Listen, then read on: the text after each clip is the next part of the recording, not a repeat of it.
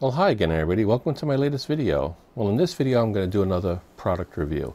I have in front of me the UCEC GAM Live Pro video capture card. And that's GAM spelled G-A-M. They leave off the E for some reason. Anyway, I got this device from UCEC free of charge, full disclosure, as a review product. However, they have nothing to do with what I'm going to say in this video, nor do they get to review it before it goes up on my YouTube channel. They will see it for the first time when you see it. Now, according to the online literature for this particular capture card, it has some interesting features, some of which I just highlighted. It's supposed to be zero latency pass-through on the 4K 60, and it's supposed to be fully 1080p 60 output through the USB 3.0 into whatever program you have on your computer that will accept that sort of output. I'll be doing my testing with OBS, and we'll see how it works.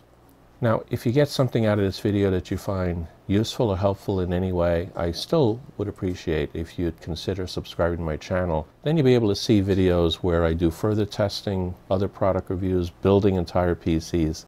Please consider it.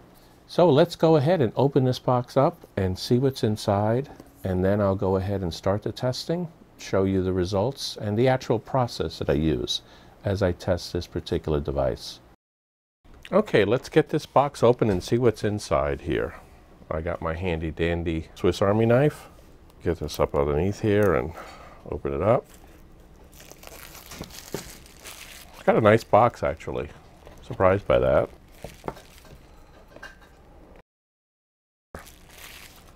Let's get this guy out of here. It's actually much squarer than the one that I reviewed last from UCEC, which had a lot of rounded edges to it. So this one here is very square.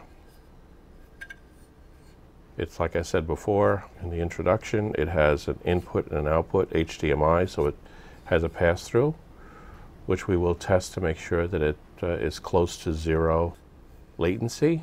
And then over here it has the USB 3.0 output. Looks like what we got here is for a regular headset, both headphones and microphone, standard headset connector and it has a gamepad connector here.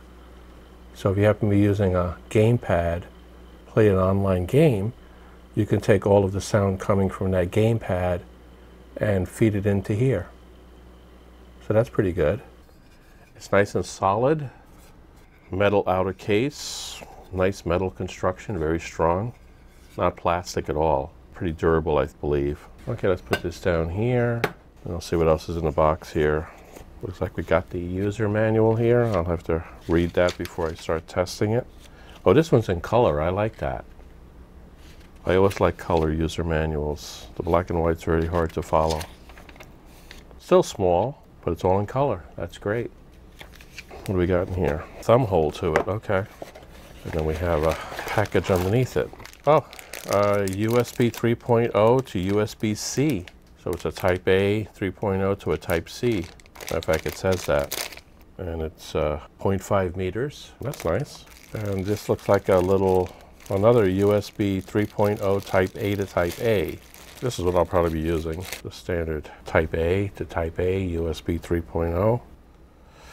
And it's got a small HDMI cable. Let's see, how long is this thing? Looks like it might be as long as five or six feet. Let's see. What do we got here? And it's about four feet really a good cable. It's got a, a good casing to it. It's pretty good quality. So that's what's in the box. I guess the next step is to test all of this and make sure that this thing is performing as it says it's supposed to perform. Okay, here's a screen capture of testing with the camera going through the Elgato, same time that we're looking at the screen. So let's start the counter.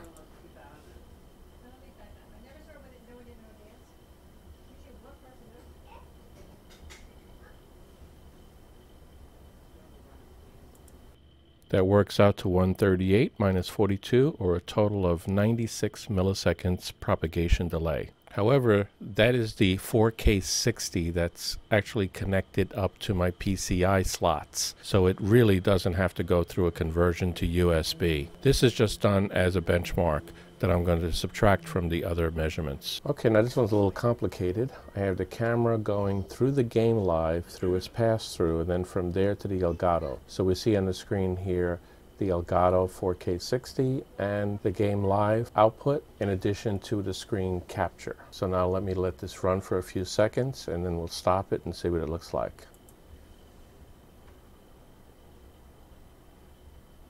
This test tells us two things on this one screen. If you look at either one of the two left side ones over to the one on the right, it shows us that we have a total propagation delay of this new GAM Live at just about 126 milliseconds. But if you compare the two on the left, it shows that the pass-through has virtually no propagation delay at all. It might be something less than a thousandth of a second, but it doesn't show here. Okay, let me show you how it's all hooked up here before I move on to a couple of final little tests.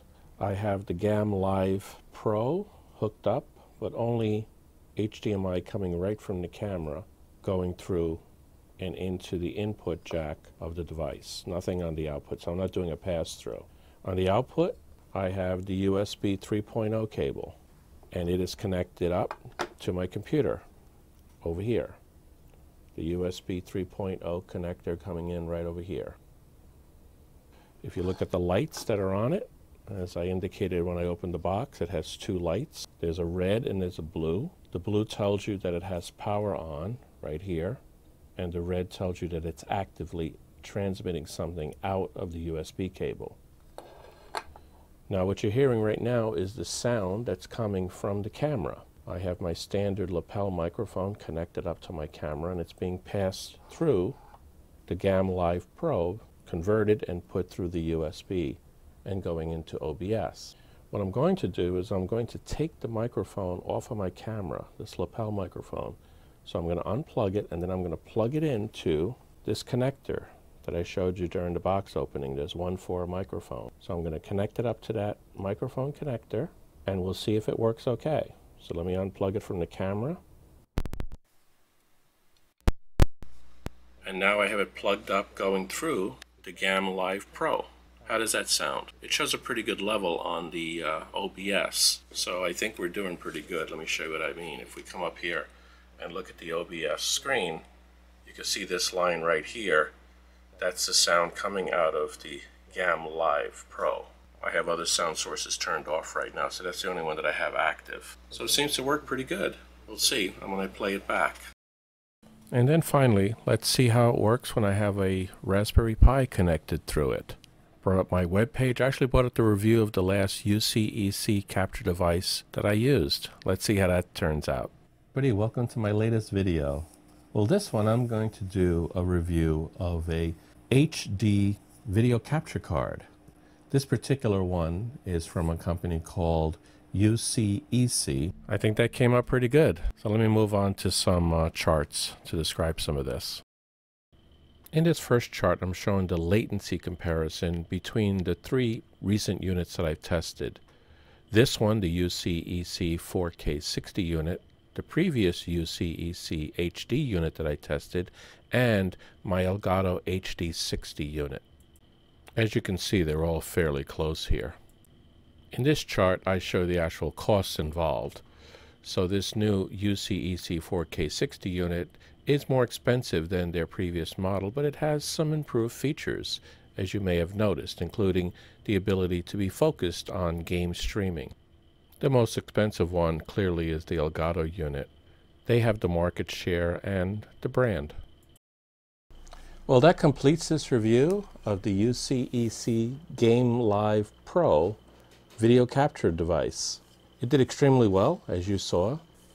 It's going to cost a bit more, as you saw from one of the charts there. It's going to cost about $110 as opposed to some of the other ones, but it's still competitive if you compare it against an Elgato. So I think it's pretty good. It is meant for doing streaming of your gaming. That's pure and simple. Both the headphone jack and the game console controller are there for that specific purpose. If that's what you're into, I think this device will do extremely well for you. So if you got something out of this video that you found useful or helpful in any way, again, I'd appreciate it if you'd consider subscribing to my channel and you'd be able to see the future reviews of other devices I may come across. Well, until the next time, take care, be safe, and be healthy.